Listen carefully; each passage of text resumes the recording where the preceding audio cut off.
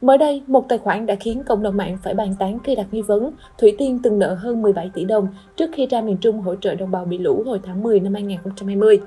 Để chứng minh cho chia sẻ của mình, tài khoản đã khẳng định tra được CEC, dữ liệu thông tin cá nhân, doanh nghiệp, tổ chức về các khoản vay với ngân hàng. Theo đó, tài khoản này khẳng định CEC của Thủy Tiên đã ghi nhận tổng nợ hơn 17 tỷ đồng trước khi nữ ca sĩ ra miền Trung và được trả hết sau khi đi từ thiện 3 tháng. Cộng thêm số ồn ào đấu tố dạo gần đây xoay quanh chuyện đi từ thiện miền Trung của vợ chồng Thủy Tiên, cộng đồng mạng không khỏi đặt dấu chấm hỏi khi liệu có góc khuất gì ở đây hay không.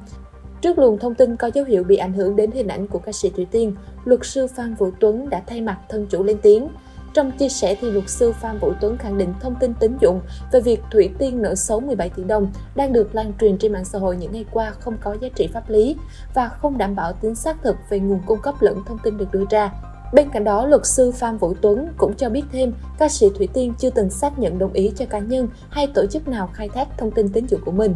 Hiện tại thì phía Thủy Tiên đang thu thập chứng cứ cần thiết để nhờ đến sự can thiệp từ pháp luật, bảo vệ danh dự, nhân phẩm và uy tín cho vợ chồng nữ ca sĩ.